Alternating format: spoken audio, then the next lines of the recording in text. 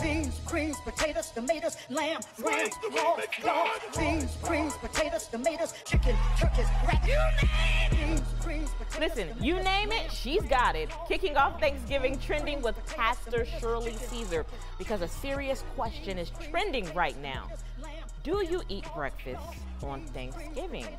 Now, Whitney, most people are saying, heck no, they need it. They need to keep room for all the real food. So let me ask you, do you eat breakfast on Thanksgiving? If it's served to me, absolutely. I know that's right. If it's served, I, I was telling um, our executive producer for me, I nibble on whatever is ready. So it's like sometimes my mom like cooks at night, and if there's something ready, I, I'll just kind of nibble on it and make a small plate. absolutely. Yeah, but pie and stuff like that. Pie woo. and stuff, yeah, yeah, but I won't eat like a big breakfast with bacon, sausage, No, all that. No, no. no. So let us know if you eat breakfast on Thanksgiving. Take our poll on Instagram. You will find us at Texas Today CTX. Stay with us. Your Thanksgiving birthday shout outs are coming up next. You're up with Texas Today.